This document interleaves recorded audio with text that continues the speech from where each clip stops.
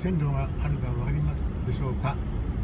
左側に長野電鉄の、えー線が走っていて、えー道路と鉄道が同じ橋の通りが並んで走っているのは非常に珍しいんだそうです、はい、鉄橋部分が終わりました。はい、えー、の里山の方は雪が降っています。えーまだ橋は続いていますあ電車は来ませんね。赤信号です。